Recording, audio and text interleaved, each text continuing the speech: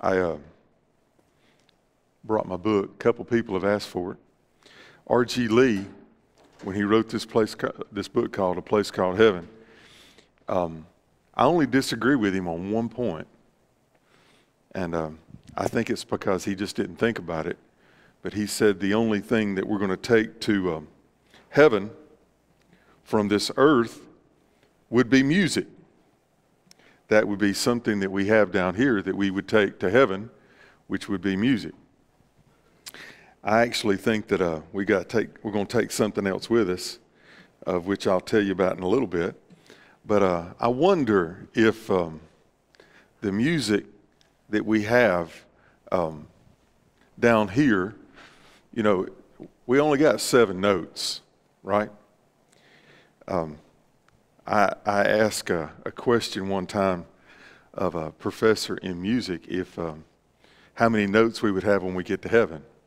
Well, of course, they all they just said seven because that was the perfect one. It repeats all over, like the colors. You know, we've got a certain amount of colors. Now, I'm not talking about Crayola. Y'all remember the boxes that had all the different colors in it? But there's really just the, the colors that are there. So I, I said, well, maybe God's holding back maybe in this finite mind that we have, we can only comprehend so much. And uh, in uh, R.G. Lee, in his book, he was talking about Beethoven and Mozart and all the ones who did all the wonderful things that were there that we uh, enjoy so very much. And uh, I'm thinking, well, there are songs that we've never heard, there are things that are beyond. And I just think that um, God cannot be confined. Amen? I think that's almost a definition of, of we can try to confine God, but God is so much beyond all of that. So uh, when we get to glory, we're going to see Him for the first time for who He really is. The totality of God. We get a glimpse of a partial part of it now. If we talk about love, uh, I did marriage counseling yesterday, and, and I was uh, third time we've been trying to define what true love really is. And but you can you can get all of that down here and it still just be a, a representation of the true love that we'll know of when we see God. So when we see God, it won't be by faith and it will not be in this finite understanding of, of how we can see things now, but it will we'll, we will see the fullness of God in His glory in heaven. Amen. If y'all are okay with it, uh, let's do the prayer request at the end. Y'all all right with that? Let me just pray, and uh, we're going to begin, and we'll go from there. Let's pray. Father, uh, tonight I pray that um, you will. You gave us your word. You gave us this word, and you gave it to us so that we would know what's happening now, and to dispel our fear, what would come in the future. Uh, how you've got this and how you've got us in this. So, Lord, uh, comfort our souls, comfort our thoughts, uh, comfort our spirits with your, the trueness of who you are. And Lord, if I know tonight we're only going to get to see a part, and I don't have all the answers because your word does not fully describe all of it. But Lord, let us just take the words that you have given us that are for our benefit now, and Lord, let them uh, be the seed the mustard seed of what will come later. Uh, and I think of our loved ones that are, uh, even now at this moment, as we are still veiled in time, but they're in your presence of eternity, and they're seeing so much more, so much more, so much more. So, Lord, I, I thank you for New Holland Baptist Church. I thank you for the people, the precious people that make up New Holland Baptist Church. I think of their, thank you for their love that they have for you and, and uh, the love that you have for them. And Lord, for our mission here to bring you honor and glory. So, Lord, just uh, bless our time together.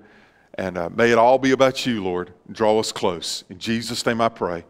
Amen. If you have your Bibles, turn to Revelation 21. Um, for anybody who wants to read this sermon, I'm going to let you do it but you're going to have to do it one at a time. And y'all got, y'all got to take good care of this because this thing's older than I am. Um, and once you read this, and the people who do read this will testify, I have not tried to copy anything in here. Uh, Adrian Rogers was Dr. Lee's pastor. After uh, Dr. R.G. Lee was at Bellevue Baptist Church in Memphis, Tennessee, after him came the great Ramsey Pollard. And he was there, I think, for about eight years. And then he went off and, uh, uh, and by the way, Ramsey was a phenomenal man of God, but the people at Bellevue weren't too sure about him because he wasn't R.G. Lee. And it's hard to follow somebody such a, a great man of God. And then after uh, Dr. Potter left, he went to Oklahoma, and I think he ended up being the president of the convention there and just a, a great man in the Southern Baptist Convention. Adrian Rogers came, and he was a pastor at uh, Bellevue, Bellevue, Baptist in Memphis. And uh, so they uh, became great friends, Dr. Rogers and Dr. Lee. And uh, Dr. Uh, Lee, in his last days, had a vision of heaven. Had a vision of heaven. Kind of, I guess you could almost say, like God did for the Apostle John in the book of the Revelation. So, of course, Dr. Rogers wanted to ask him about it. And he said, uh, he said Dr. Lee had the clearest, bluest eyes. And he was, uh, uh he said, uh, Dr. Lee, could you tell me something? And he said, Oh, it was beyond anything that my words could ever could ever share. Now, if y'all ever get the pr- privilege of reading some of his stuff, his words were phenomenal, so phenomenal. But he said, my words would not uh, be able to share of the glory and the splendor of what I saw. And then Dr. Rogers said, well. Is there some way when you go to glory that we could take your brain and put it in my head? And Dr. Lee said, That would be like taking a beautiful grand piano and put it in the closet. So uh, I'm not going to try to uh, share any of all of these, but I'm going to read to you a couple things that describe, and actually, what I'm going to read to you is mostly Dr. Lee quoting other men and their explanation of a grasp of a view of heaven. Uh, I don't know how many of you know um, Maybe you've read some of E.M. Bounds. He wrote a lot on prayer, E.M. Bounds. Here, Dr. Lee is quoting him All figures and values and beauty are exhausted in description. Earthly and angelic vocabularies are exhausted, and yet only the outside is described. Isn't that amazing? We're going to talk about that city four square tonight. And true enough, in Revelation 21, when it describes the city, it only describes the outside, describes nothing of the inside. Bounds says, What there is of wealth and good inside defies all language to convey, all beauty to describe. And to that, now we say, drat. But when we get there, we'll say, Amen. Amen. We want to know more, don't we? But we couldn't comprehend. Uh, Bishop Bacon, he quotes in saying, in describing the celestial world of light and life and love, all thought, all language, all image fails us. It is a theme too high for conception, too grand for description, too sacred for comparison. The grandeur of nature, the glory of art, the charm of fancy, the creation of poetry, all these fade in the vision. And then he says, This is Lee's words. And I speak to you of heaven. I feel when I attempt to describe it as one who would forth, who forth, excuse me, as one who goes forth with flickering and feeble candle to illuminate a sunset, or one who toils with a wheelbarrow to haul away in one day all the golden wheat of all the western plains, as one who with a teacup works to catch and hold Niagara's waters, as one who with a thumbnail mirror attempts to catch and reflect the wonders of a mighty ocean, the woeful sense of inadequacy that expresses me to, is akin to the feeling expressed in Leigh Hunt by Shelley. I do not write. I have lived too long near Lord Byron and the sun is extinguished, the glowworm. In all of these things, I take on tonight the, the chance to describe what John saw and what God desired for John to pen of what he saw when he looked and saw the city four square coming down. I want to read uh, to you, begin in verse 4. We covered this Sunday morning, but I just want to remind you of one phrase there. Revelation 21, verse 4 says, And God will wipe away every tear from their eyes. Nothing else that will ever make you sad. There will be no more death, no separation at all, only eternal abiding. Nor sorrow. Your heart will simply overflow with the good and the love and the peace that God gives you. No crying. No, for there will be no more pain, no trace of sin whatsoever. Then he says these For the former things have passed away. One must go away that the new can come. When Jesus went to the cross, it was for a reason and a purpose. His life must pass away so that something greater could come. As we look at this earth today, we sorrow. I, I, sorrow with my brother Charles tonight. Seven years ago, his wife passed away today. And I, we have to say goodbye to one thing before we can say hello to something else. This world of sin that we call home, that we're very comfortable with, that people long for and seek to hold to, must pass away. The former things must pass away. I want to tell you that our thoughts that we think are the great values of heaven will be replaced with something so much greater. It doesn't mean that it's bad, it actually means that it is better. Our comprehension of what we think is one thing, but our understanding of what we will inherit will be so much more grand. So I want you to, to, to think about when we, we talk about these things tonight, though we can't fully understand them in this veil, this tent, this, this earthly tabernacle, this earthen jar, this will go away, and that's a good thing, right? There's so many things down here that people are holding dear to, but we will, we will, we will gratefully let those things go so that something else can take its place. All right? So in verse 5, he said to him, Write, for these words are true and faithful. You need to understand that what he has promised us are true. And he is the faithful witness. He has the power to hold those things and to keep those things for us. I've been asked many times why it is that Satan fights so hard. He's a defeated foe. Surely he knows that. I don't think he does. He is fighting for his life. And he understands that God is light, so he holds to darkness. He understands that God is good, so he seeks to, to, to try to defeat that good with bad. He understands that we live in time. We, of all people, should have every daily thought looking towards eternity. But Satan wants us to hold to the, the things of right now as if that were everything. He, he fights for the temporal because he uses the temporal as a weapon against the eternal, the permanent, the vast goodness that God has prepared for us. So, why would, after a thousand years in a bottomless pit, chained, with someone else in control. Why would he, when, when he's been given the opportunity to leave, why would he go back to the old way?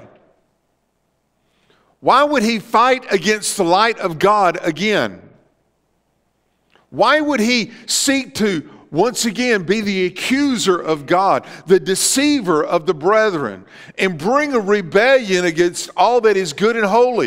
Why would he? Because that's all he has. There's a simple statement that I think that we need to hold to. Instead of yelling at lost people, just understand lost people act like lost people. I love the fact that little children run around the church. I love the fact that they speak when they're not supposed to. Y'all know what I'm talking about? I love the fact that they only can speak the truth, you know. Well, they can speak lies, but, but, but they, they, they tell the truth when, when parents are like, shh, shh, shh, shh. Right? Because that's just who they are. We should love them for that. Please understand and know that though he came to fight, he should have come back and said, God, I give. You're right. But there was something in him that could not or would not ever see the grandeur of the presence of who God really is. And that will cost him everything. I said all that to say this. People ask me the question why do people not humble themselves, confess their sin, repent of it as best they can before a holy God, look to God and say, You're right, I'm wrong. You're the, you're the Savior of the world, the Creator and the holder of all. I give my heart, my life, my all to you. Because there's something in them that puts them above the Almighty.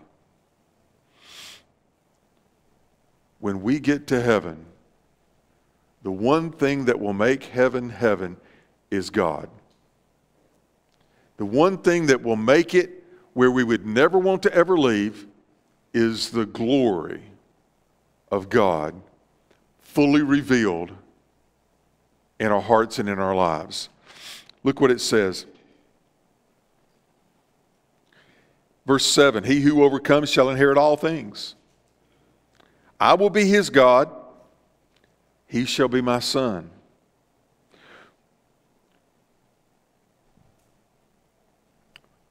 Verse number 10 He carried me away in the Spirit to a great and high mountain and showed me a great, the great city, the holy Jerusalem, descending out of heaven from God, having the glory of God. When we get to see God with the, and, and know Him fully, the thing that will be so amazing is we'll see the glory of God. When Moses got to see a glimpse of it, it changed him. God's holiness came off on him. And you've been around good. How many of y'all, y'all know, y'all know exactly what I'm talking about? You probably are thinking of someone when I say this. When you were around them, you, you sensed and you felt the presence of God on that person. They had been around God. It was like the, the glory of God was in that person. And when you were around that person, you sensed and you felt the presence of God on that person. The thing that will make heaven heaven is Jesus will be there with all of his glory. But hear this now He's not a hoarder of his glory, he's a giver of his glory. Jim, you get all of it. From the moment you're there, you never have to leave the presence of His glory, the presence of His goodness, the presence of the bliss of His love. The glory of God is what's going to make it so absolutely unique and wonderful. It talks about it in verse, uh, verse 11. Her light was like a most precious stone, like a jasper stone, clear as crystal. This is a diamond, a diamond shining in brightness and brilliance. Everything that we're going to talk about in the next few moments, they're going to be different descriptions of this beauty. And though it is difference in the, can I say, the fragrance of it, or I'll even use the word color, but it's all brilliant in itself. So much beyond the, the, the, vagueness of it here, what we have now is a, fore, a foretaste of what we will experience there. So we'll see love to the nth degree, but everything to that place. This city was most brilliant from the glory of God. Verse 12. Let's get into some new language here. She had a great and high wall with 12 gates, 12 angels at the gates names written on them, which are the names of the 12 tribes of the children of Israel. Let me go a little further just so that you can kind of have the understanding of this. Verse 13 Three gates on the east, three gates on the north, three gates on the south, three gates on the west. The wall of the city had 12 foundations, okay? 12 gates, 12 foundations. And on them were the names of the 12 apostles. And he who talked with me had a gold reed to measure the city, its gates and its wall. The city is laid out as a square. Its length is as great as its breadth. And he measured the city with its reed, 12,000 furlongs. Its length, breadth, and height are equal. This city, someone said, well, this is like a pyramid. No, no, no, no. This is like a cube. Now, here is the, the length in the, in the description of how we could understand it. We in America go by miles. This is a city that is 1,500 miles long, 1,500 miles wide, and 1,500 miles high. Now, I don't have a great way of describing this, so let me just uh, use someone else's terms. From the tip of Maine to the tip of Florida, 1,500 miles. From the East Coast to Colorado, 1,500 miles. And take that 1,500 miles high. You say, well, I can't understand that. Well, let's just say each, let's say that in this city, I hadn't been inside it, I don't know. I'm just trying to describe. Okay? Let's say in each floor of that, that uh, city was one mile high. I don't know. Down here, we'd say a, a floor is what, 12 feet, something, 15 foot? I don't know. Some say 10, I don't know. We'll let the people who build the skyscrapers tell us that, right? But let's say, let's just for conversation say, say it's one mile. That's 1,500 stories if they were all one mile. Now, people brighter than me said, well, we have 7 billion people on the earth at this point. If all of them were saved, and we know that's not true. Can I get an amen? But if they were in this city, it would only be one small part of that cube. And they tried to figure out how many people it would be on it. And basically, that's a, that's a, it's, it's, it's a futile concept because we don't know how it looked inside. All we know is this it's 1,500 miles wide, long, and high. Amen? The wall of this city is not a wall that goes up and, and just uh, protects it from an outer layer. No, it's a cube. It goes around it, so to speak. So when you look at it, this wall is 216 feet thick. And in this wall, there is on the north side three gates. On the east side, three gates. On the south side, three gates. On the west side, three gates. Now, here, let me.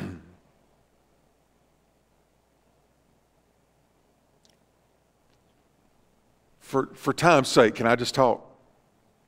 All right. Let's talk about the gates.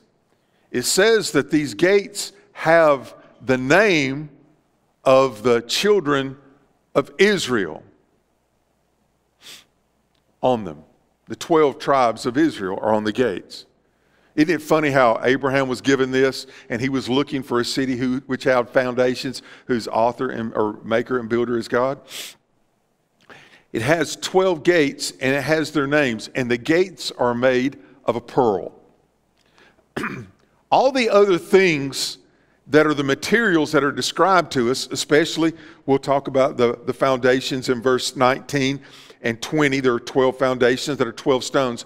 All of those are materials stones, right? We got that part.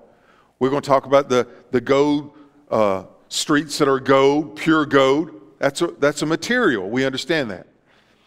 But a pearl comes from a live animal. It's the only thing that does. It's in our heaven. And a pearl comes from an oyster. And basically, how a pearl is made is a grain of sand will get inside the oyster and scar it, hurt it, wound it. And a healing salve will begin to build around the wound. And over time, that's how the pearl is formed. The pearl begins with a wound, but the healing of the wound creates the pearl. And it says in his description of his heaven that the gate is made of a pearl. When you come through that pearly gate, we ever sung about that before? When we go through the pearly gates, we're going to understand that we're entering the city through the wound of someone else. By the way, whose wound was that be, would that be? Christ. He was wounded for our transgressions. By his stripes, we are healed, right? He did that for us, and the healing balm that was built around that. Now, that's, that's, that's the entrance into the city. And it's, oh, it's so much more than I could ever possibly understand, and you could probably teach me so much more. But, but it's, it's built on, on, on the, the, the people that were supposed to be God's people, God's chosen people. The, to, to Abraham, this promise was given. His son Isaac, his son Jacob. By the way, study Jacob. He was a scoundrel. Aren't you grateful that God loves scoundrels? A schemer. One who, one who was looking for and received a second chance. Praise God that we serve the God of the second chance. The one who could take one who only cared about himself and made him the father of the ones who would be the, the 12 tribes. And by the way, Study the 12 tribes. Study those 12 guys of those 12 tribes. They're not the, they're not the highest caliber of people, too. Amen? God is the God. What was it Lincoln said? No, no, I believe it's Twain. God must love the common person because he made so many of us. I believe that was Mark Twain. Amen? Somebody will tell me if I, if I said it incorrectly. Isn't it funny how God chose them and He puts their name because they came to God believing, trusting. The foundation going towards, the foundation that opens the door. And then when we get into the city, we see all of these, these um, well, let's talk about the construction. Verse number 18. The construction of its wall was of jasper, that is the diamond.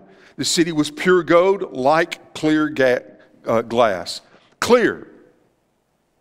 Go to Ezekiel, the first three chapters, and study it, and you'll see the throne that is there. And the throne is there, and those that are under the throne, and they can see above it because it's clear. Go to Revelation 4 and see the throne that is there, and those that are around, the sea of glass, like crystal, that is there. And we're looking at gold. When I when when when Lynn bought me my wedding band, we decided, you know, now they're making them silver, now they're making them titanium, uh, now they're making them rubber. Y'all seen the rubber ones? Stretch those things on. Um, she said, uh, I'm going to get you a nice one. I'm going to get you 18 karat or something. I said, no, no, no, no, no, no, no. I don't want 18 karat. Oh, yeah, yeah, yeah, yeah. And I said, no, no, no, it's too soft. I said, I want something. So I got, I asked for 10 karat because I needed something harder. I wanted something. And by the way, y'all know when she put it on, it hadn't been back off. It's never been back over that knuckle. And I got calluses all around that thing. And, and she put an inscription on the inside of it. And I'd have to ask her what it was because I don't know that I remember all it. It's written down somewhere, but I haven't seen it since then. But all the impurities that are there lessen the quality of it. The, the more pure it gets, the more the more, you know, the higher quality of it. You got, you got to put it in the crucible and put the heat to it and to separate the pure gold from the, from the, all the impurities, right? And it'll get clearer the more you get to it, right? This gold is like the, I, I, said all that to say this this goat is a, is a representation of everything that else that is in heaven, which is pure. There is nothing in heaven that has any imp, impurities whatsoever.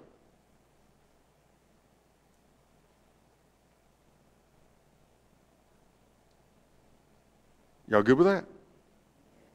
Let me tell you why that should matter to you now. Right now in this world, we see a lot of impure motives, don't we? We see a lot of impure thoughts, don't we? Have, have any of y'all had impure thoughts today? But you're in church tonight worshiping to God and saying, I, I, I pray that I never have those impure thoughts ever again. But when we get there, there will be nothing impure. Everything that you see is pure. Now, how many of you know some people that are dirty, rotten scoundrels saved by grace? Amen? So when you see them with the blood of Jesus Christ covering them and they are made white as snow, what are you going to know about them? Pure.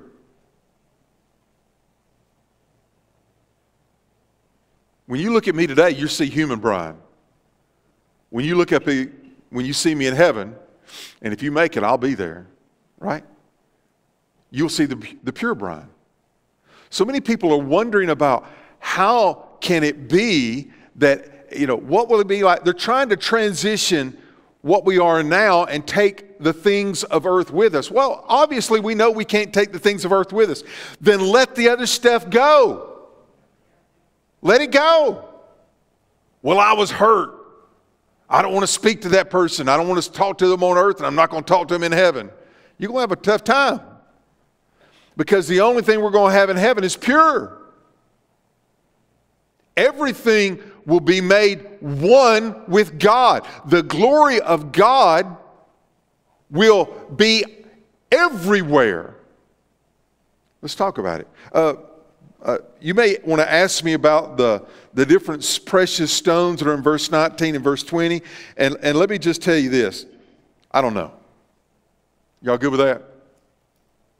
If you, want to, if you want me to give you a description of why he chose these, I, I don't know. I just know these are the ones that he gave us. Is that fair? I think one of the craziest things that I've ever seen is people trying to talk about things and things that I don't know. And I don't know why he chose these. Maybe you do. You can enlighten me. I don't know. Look at verse 22. But I saw no temple in it. For the Lord God Almighty and the Lamb are its temple. Why do we come to this place?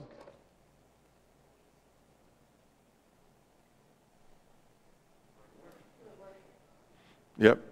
You ever heard anybody, well, I don't have to go to church. I can worship God everywhere, anywhere. And to that you say,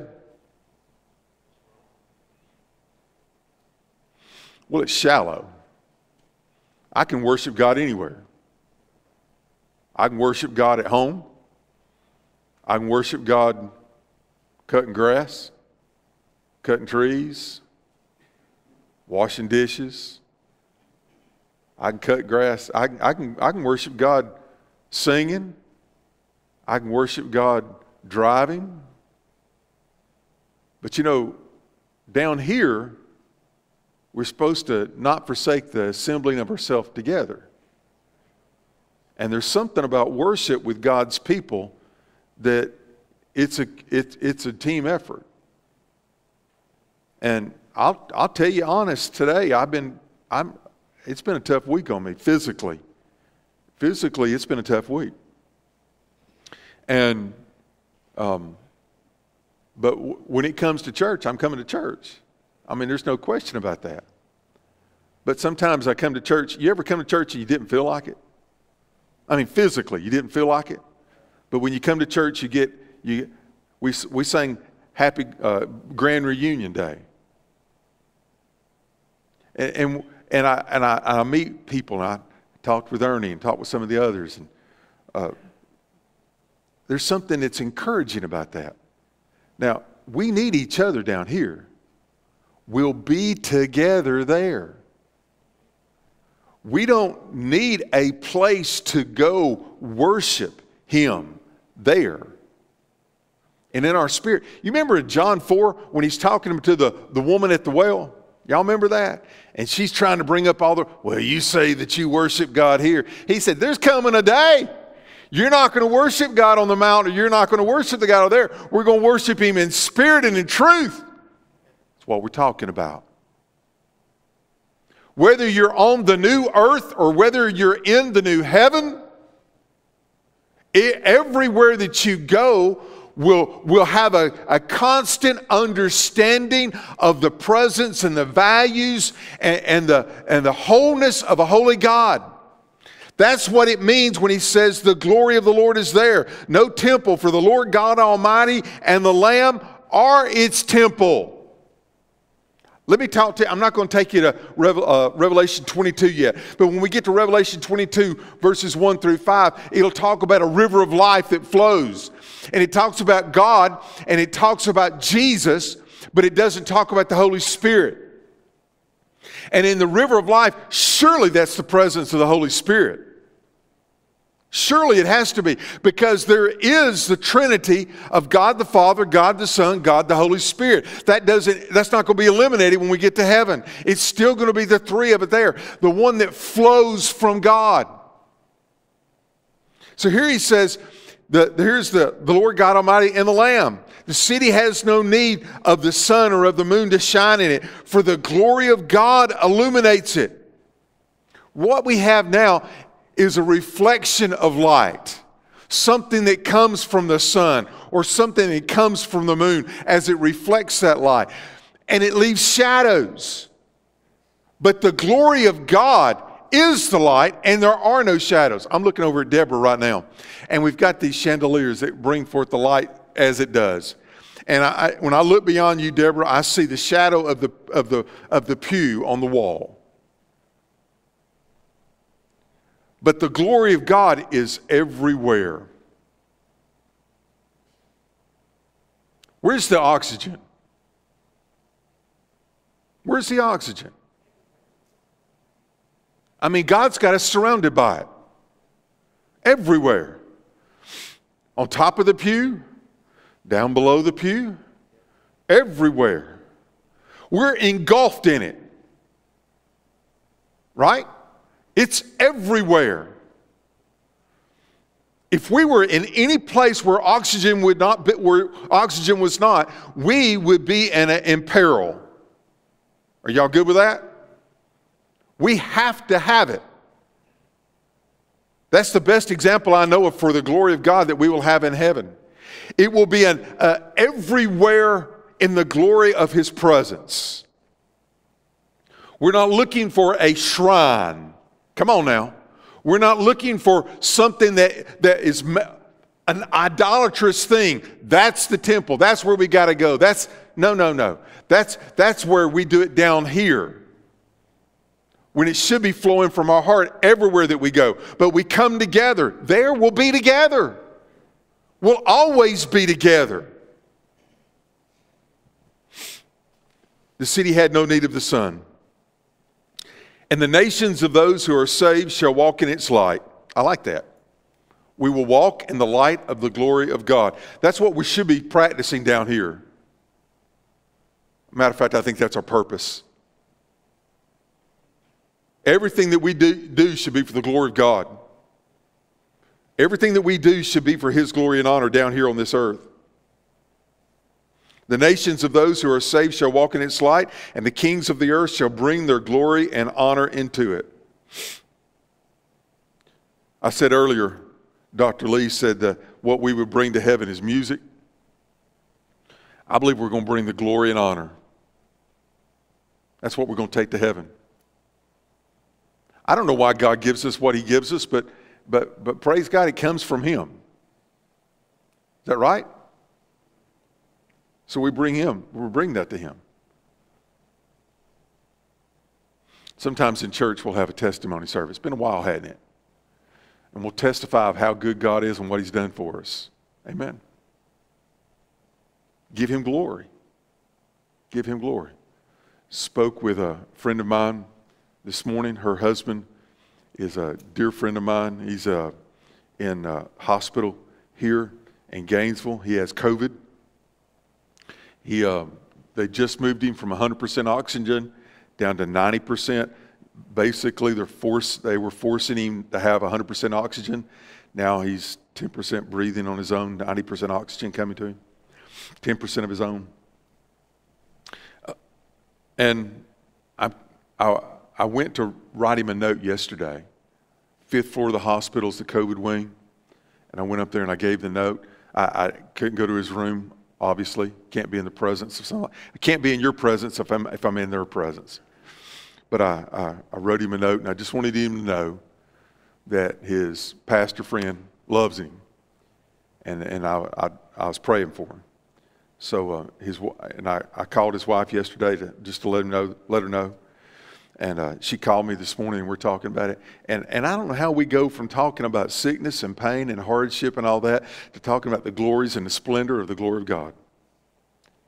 That's just simply two people who love God that it just boils out. It just comes out of them.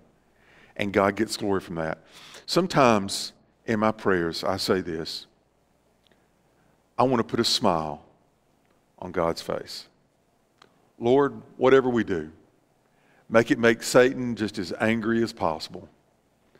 But Lord, whatever we do, however we do what we do, may it put a smile on your face. I want to give him glory.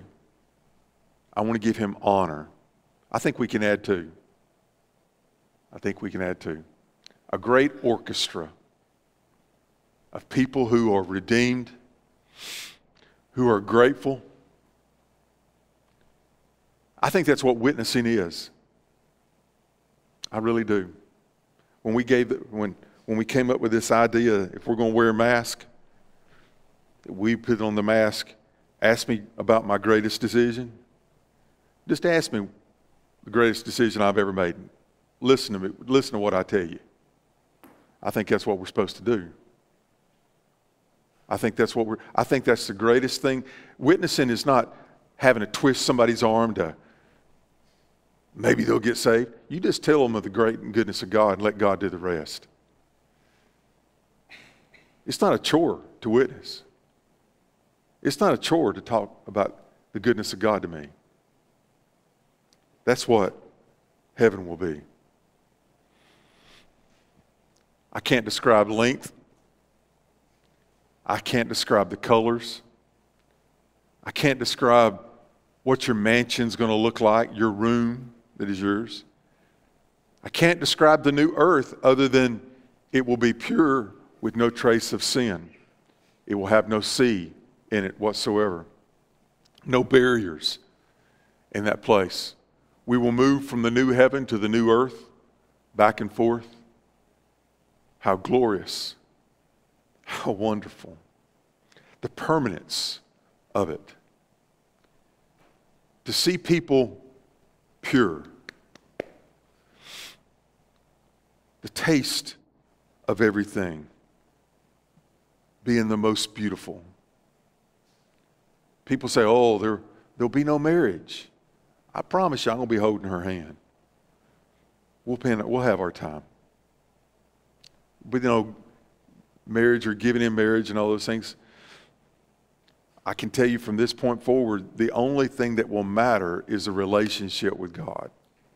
But we're going to know each other. I'm going to know that that's my wife. I'm going to know that who my dad is and my grandfather is. I'm going to know that Jim's my friend. I'm going to know that Charles is my friend. Estranged relationships now, when they're bound together with the blood of Christ, become whole there, only pure undefiled.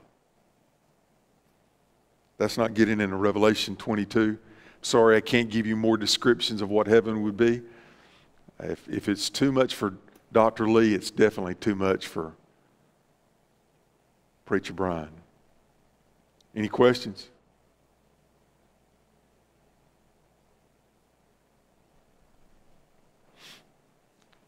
It will be worth it all when we see Jesus. That's all I can tell you. Lance, if you'll go turn all that off for me, please, sir. Thank y'all for watching online. I hope you are uh, been blessed by it.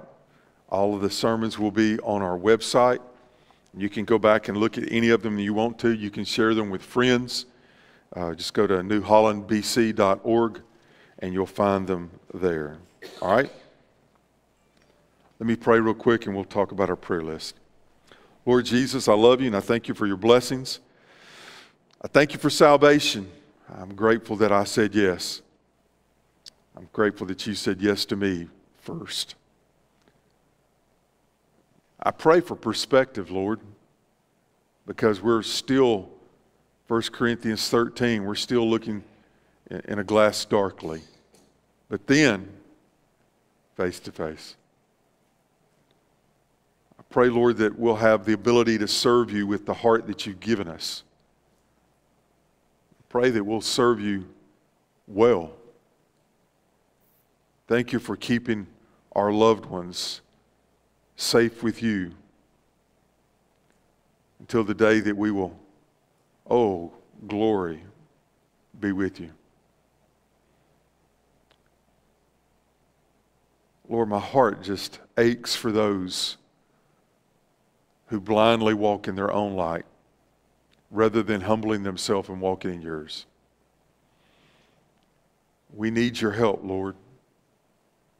We, we want to be on mission for you.